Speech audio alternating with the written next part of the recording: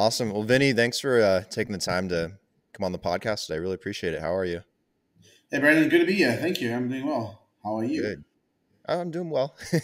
um, where are you based? I'm in San Diego. Oh, nice. What's it yeah. like in San Diego amid the? I'm another one of those uh, uh, you know, exiled Bay Area people. oh, cool, cool. Every, everyone's like dispersing, whether it's Austin, Texas, or, or LA, or San Diego, um, you know, or, or, East Coast. I think we, we just kind of find we find the spot that's not the Bay Area, and we, we kind of get settled down there. Right. I know people have been kind of leaving California and, and exodus the last couple of years. Um, but I, I, know a lot of people love San Diego. I have some friends down there. It's beautiful. Yeah, it's great. Yeah. Um, I think a lot of people leaving more like the Bay Area. Like, I, I kind of struggle with the leave California thing. I just like the I like the beach. I like the, the sort of mm-hmm. coastline. So yeah, I, I see the appeal of Austin potentially, and maybe even Florida. But I, I like California, so I just didn't like the Bay Area very much. So I'm happy to be down here. Right. Yeah, it'd be hard to leave the beaches and some of the conveniences of California, but I don't know. It's a, it's a personal preference for everybody. Absolutely. Anyways, um, for my audience who may or may not be familiar with who you are and what you do, can you tell me a little bit about your your background or your backstory, um, to give them a better idea? Sure. So I'm a South African born entrepreneur. You know, kind of like Elon Musk, but much much poorer. Um, you know, I, I, moved over to the Bay Area back in 2008 um, and uh, started, uh, you know, I started a couple of companies in South Africa in the early 2000s in search marketing, went to the Bay Area, built a SaaS, um, you know, website platform uh, in 2008, uh, then started a gift card company, digital gift card mobile platform called Gyft in 2012. Um, yeah, actually plugged in, you know, uh, Bitcoin into that as one of the first real, you know, Bitcoin vendors and uh, we were one of the biggest sellers of uh, product using Bitcoin. I think at one stage, well, remember one Black Friday, we were five percent of all Bitcoin blockchain transactions that went through our platform that day. Uh, people are just cashing in their, their Bitcoin and buying gift cards. So um, yeah, it was a really successful um, you know business operation in that in that sector and space.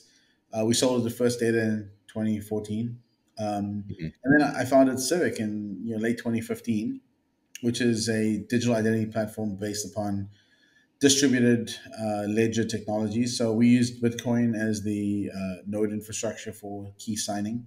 Um, and uh, the idea was to create you know, digitally verifiable credentials on devices like your phones, where you can use and assert your identity uh, in a decentralized way. So there's no central database that's storing all your data. You are the central database for your own data. And uh, Civic, you know, the mission is basically to try and prevent the dystopian one world government where all your information is in one database. And, uh, you know, we, we built out a platform called identity.com. It's actually a nonprofit now. Um, and uh, that's meant to be a identity interchange service where you can access different pieces of information that people have about you and use it at other places. So, for example, being able to, you know, one day obtain your your uh, utility bill, you know, through the network, and then use it to open up a you know mobile phone account, etc. Things like that. Um, so we built a lot of this infrastructure around digital identity. We have the Civic Wallet, which is a um, you know cryptocurrency wallet, stores Bitcoin primarily. We do have ERC20 tokens. The and functionality are disabled right now because of high network fees on Ethereum, but Bitcoin works great, and we have a million dollar crypto protection guarantee uh, on that wallet. Um, and uh, yeah, it's just a great place to store your to store your your your Bitcoin. Okay, yeah, I've definitely heard about Civic in the past, but just haven't really um, followed it, so I haven't really caught up with the developments and where you guys are at with that. So, yeah, to clarify, Civic is it's primarily for putting your digital identity on the blockchain. Yeah, I mean, primarily we're an identity platform, so we allow you to use the app to scan your documents and then do a selfie. We use facial recognition to determine that you are the person who's on your documents, and then we issue you with a signature, um, or at least a private key that allows you to sign transactions, proving that you're the same person. And so you can then, you know, we we, we launched the famous beer vending machines where you can go up to a beer vending machine, scan the QR code, assert that you're over 21, and a beer pops out. Oh, nice. and without sharing your personal information, just the fact it's a zero knowledge proof, proving that you're eligible. Mm-hmm. So, can I use that today? Like, is that available, like on the app? that's available. Um, the machines are few and far between because we're still busy working with companies to roll them out. But we've, we've had them at conferences, which don't happen anymore mm-hmm. due to COVID. Um, yeah.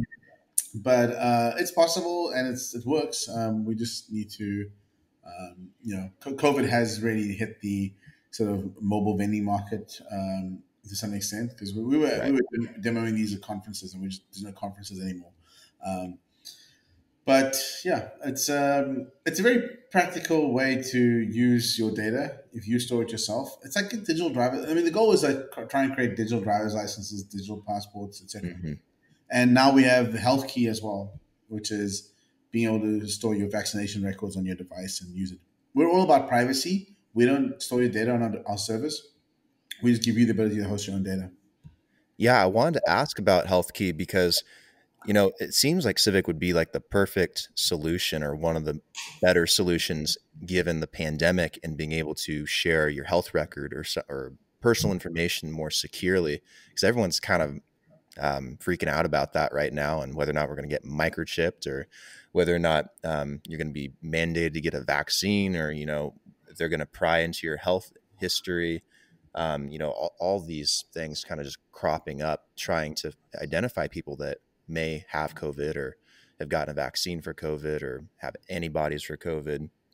Um, so it seems like, you know, uh, Civic would be a really interesting solution to apply to this, especially using something like Health Key. Have you guys like really tried developing something for that, or is it kind of just for general health records? Well, it's actually built and it's it's capable of doing it. The biggest issue is you know um, the vaccine is only rolling out right now, so mm-hmm. we have to simultaneously get health records into the Health Key, and then find people who are willing to accept it. And we've been targeting companies who want to get their workforce back into work. But one of the big challenges is companies don't want to mandate the people, and they shouldn't take the vaccines, right? But how do you how do you sort of differentiate between people who have taken it or haven't taken it? How do you set policy? So the, because there's just no leadership from government right now on how this plays out in the U.S. at least, uh, it's it's a difficult product to roll out. The tech is there. We're happy to chat to companies who want to do it, but the biggest issue is that you know the HR issues and and what mandates do you set for what workers and which environments and who has to take the vaccine to go to work and who doesn't. And it's it's so it's not a technical problem. It's a it's a people problem right now. But the te- the good news is the technology is there. We've built it. It's available. We're having a co- conversation with a number of companies who want to use the technology. And so we're in the early stages of vaccine rollout. It's only happened in the past couple of days. Uh, but let's see how it plays out, and hopefully we can provide that solution to market. Right. You guys should at least be able to track who's been sick, though, right? And then like put that kind of info on the blockchain, and then get an idea of what areas and people are coming from that might have it, or you know where these people traveling to when they check in. I feel like that'd be another added benefit. Yeah, that's more contact tracing, and we don't want to get into that space. Like that's a huge privacy invasion uh, uh-huh. perspective. Like uh, you know Apple and Google, uh, you know, in particular, who have no problem invading privacy, can tackle that industry. We're going to stay out of it. okay, okay, gotcha. I think I think Apple Apple's been pretty good at it. I think Google's obviously got a lot more data on people than anything. Um, uh, but you know, contact tracing is a very complicated, uh, you know, invasive uh, mm-hmm. um, so thing, which works in some countries and works well because they they're just not used to the freedoms we have in America. Uh, I don't think that it's a bad thing. I just think that it's a it's a, contrast to you know like centralized contact tracing mm-hmm. is um, it's, it's, very antithetical to the way we've been brought up as a nation. I guess I'm an immigrant here, but my right. sense is it's not very in line with what we expect from the US, and so it'd be very difficult to get it passed from a constitutional perspective, etc. But other countries culturally, it's fine. The government can know exactly what you do, where you do, where you do it, mm-hmm. etc. And and and they've been able to control the the virus uh, from that perspective. Is there a way to do contact tracing where the individual can have a bit of anonymity or um, at least privacy sure. in that process? Sure. Absolutely, but you know, as you increase the as you increase privacy, you drop efficacy, right? Mm-hmm. So you, you can't have both. An ultra private solution would say, "Hey, you were at a place where someone got sick. That's it. You don't know whether, whether you like you know." But and then a but one where is a lot more granular would be like you were at a place, you were in contact five feet away from Vinny, and he had it, and therefore you now probably have it. Go get yourself checked. like that's more privacy invasive. So the, mm-hmm. the more you go towards privacy, the, the less effective it is. The more the less private you are, the more effective it is. And it's a trade off. Gotcha. Okay, I guess that makes sense. I guess efficacy would drop in that situation. Yeah. Anyways, like what so what else can you use Civic for? Like have you guys done any other use cases like at scale with some companies or with just uh, different test groups or um, like or where's your main focus or is it around health key?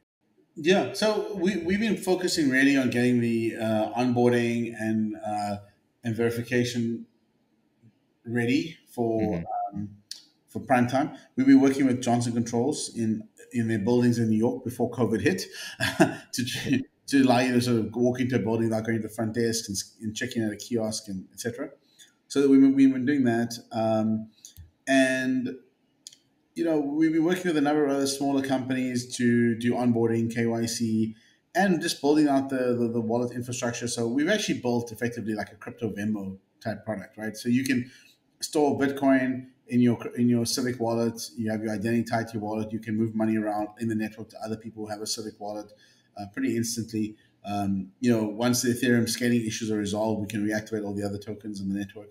Um, Ethereum has just been the gas fees has just been too high. It was costing us like you know 150 to 200 bucks a wallet at one stage just mm-hmm. to create a wallet for your multi-sig wallet, which is which is kind of nuts. Um, so we've just stuck to Bitcoin for right now and put the million dollar protection guarantee. So you can store up to a million dollars, and there's actually a, you know, protection guarantee on those funds. Yeah, million dollar crypto protection guarantee is pretty big. Where, where, do you do you guys have an insurance provider for that? Do you yeah, cold storage? okay, we work, we work with CoinCover, and CoinCover works with Lloyd's of London. So it's kind of like you know the three of us, I guess, working together on that. And then we use BitGo as the underlying technology, and BitGo is probably the best multi-sig wallet provider out there. So, you know, we've got a great infrastructure, product, uh, and a network that's being built out.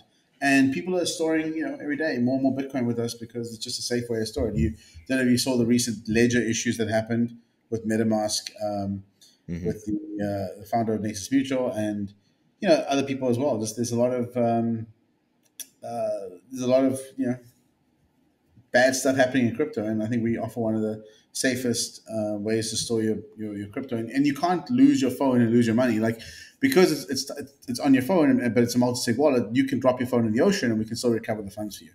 Um, and so that's the good news is that that's why we have the guarantees because your funds are always recoverable. What do you need to like? Uh, let's say worst case scenario happened, you lost your funds uh, how do you recover that? Is it just having a seed phrase or is there some documentation? No, there's no seed phrases. That's the beauty part. There's no username, there's no password, there's no seed phrases. Um, Interesting. Uh, yeah, so the way it works is that we it's a multi-sig wallet, so there's there two or three keys can recreate the wallet.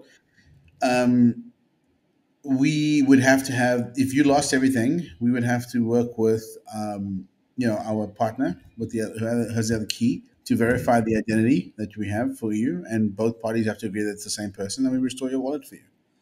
Um, and you know that would be after making sure that the original person, like we have a whole bunch of safeguards in place that the original holder would never get. You know, uh, you, you'd have to legitimately lost your phone. Okay, well that's kind of good to hear. yeah. the, the, managing all the seed phrases is a real headache sometimes. I, I've written down seed phrases and gotten words wrong too. Like it's just yeah. scary and it's a security nightmare. Yeah.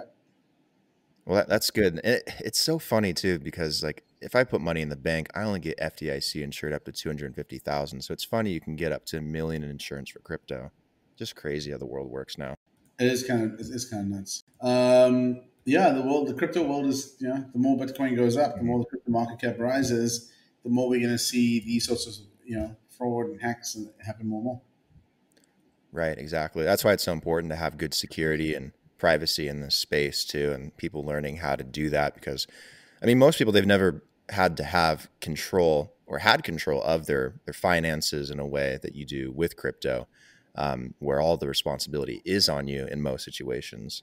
Exactly. So it is good to see like stuff like this come out. It makes it a little bit easier for people, um, and it gives them different options too, so they don't have to rely on human error. Exactly. Um, so in the Civic wallet, can you hold a number of different cryptos or just Bitcoin? Yeah, yeah. So I mean, the, the, the early adopters have actually got their wallets activated already before the fees went through the roof. Um, mm-hmm. So they have got uh, you know Ethereum, CVC, and then we, we, we, can add more. But the, you know we built a multi-sig wallet in the back of Ethereum, and when gas fees went through the roof, it just kind of killed the model uh, in the mm-hmm. short term. Anyway, I mean the good news is it's an identity wallet, so you use it for other things as well. Uh, obviously, your identity and and we, we, we, can definitely add more cryptos next year that aren't Ethereum based. But I'm hoping that Ethereum solves their gas fee problem. And uh, oh yeah, uh, yeah, it's a it's a big issue right now. Do you think they're going to be able to? I mean, they just launched Ethereum 2.0. I'm kind of skeptical, but I mean, it, it seems it's going well so far. It's gonna take it's gonna take 12 months, I think, before the gas fees come down to a reasonable level. But we'll see. Yeah, yeah. Hopefully they get those down. That's always been a pain in the past. What's next on the roadmap for Civic? Like, what do you guys have planned out going into 2021? I know 2020 has been kind of messed up with COVID and lockdowns and everything. Um, but like, what, what are your tentative plans, or what do you have publicly on your roadmap going forward? I, I think our, our, biggest focus is just on on enabling digital identity everywhere and making sure that it's just really easy to, to get up and running. Mm-hmm. Um, and so, you know, identity.com is going to continue to build out the ecosystem that they've got and make sure that the work we've done in Civic is reusable by many parties. We want this ecosystem. Digital identity is an ecosystem that has to evolve. It can't be a single player. So we want to be make, make sure we're, we're participating and helping the ecosystem develop. And it's it's now more important than ever with with COVID, etc. That identity and identity documentation all goes digital. What would you say is essential for this for digital identity to really evolve properly? Like, what, what does this space need more of? Um, I, think we just need um, we, we we need accelerate accelerant points, right? So we need, we need points where um, it's going to accelerate the market, and because you know there's demand coming in from places to have identity digitized. So, you know, a good example is like in buildings. Um, uh, you know, in buildings where you previously had to pull out your driver's license and give it a security guard, and like people are touching your things, and you, they're touching your stuff. Like this got to go away. It's got to be like scan a QR code, mm-hmm. verify your identity, walk through the barrier, done. Gotcha. Yeah, it does need to be a little bit more seamless. That's something that's really lacking, especially in the Uni- in the United States, which is surprising. So there's a lot of countries that do have that seamlessness. Mm-hmm. Yeah, exactly. Cool. Well, Vinny, um, thank you for being on the podcast. Really appreciate it taking some time to talk about Civic. Where can people uh, find more information on it other than the website? Do you guys have social media pages on? Yeah, yeah. Find me on uh, find me on uh, Twitter at, mm-hmm. at Vinny Lingham, um, or you can find me uh, find Civic on Twitter as well at uh, Civic Key. Um, and yeah, we're I'm always happy to chat on Twitter. Perfect. I'll put some links in the bio as well for the episode when it goes out, so people can find that stuff. But um, anyways, yeah, Vinny, thanks for coming on. Really appreciate it. I know you're a busy guy. Um, uh, yeah, so stay healthy and looking forward to what Civic does in the future. Thanks, Brandon. Likewise, and thanks for having me on your podcast. Of course, anytime.